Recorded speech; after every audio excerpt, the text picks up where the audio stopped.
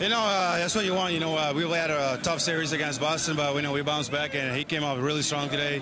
Give us what seven and two thirds, I think, if I'm not mistaken. You know, he pitched really good. You know, that's what you want. Uh, you know, a guy with a lot of experience, and, and just had a tone for us. Just kept on going, kept fighting. What did you know about him when you guys acquired him? He's now thrown 11 and two thirds, scoreless in two outings for you so far. Well, I uh, faced him a long time ago, actually, when I was with the Diamondbacks, so I kind of know a little bit about him, and, and we faced him again in, uh, when he was with the Twins. But he pitched really good against us, you know, when he came when he came over. So we all knew what we got on him, and uh, you know, guy with a lot of experience, so he pitched really good. As far as the offense is concerned, got things going in both the fourth and the fifth inning. What was it about the second time through the order that you guys were able to pick something up?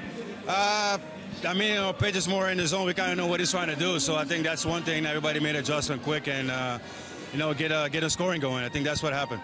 You mentioned that Red Sox series clearly didn't go the way you guys would have liked this weekend. Is there any element of relief that you're able to come out here, bounce back, get the win, and start moving in the right direction? I mean, it's not a relief. You know, the gap is big between us and them, so I think we got still got to keep fighting. So there's no setting down. You always got to go out there and play the best thing, best game we can play. So there's no relief, but we still got to fight.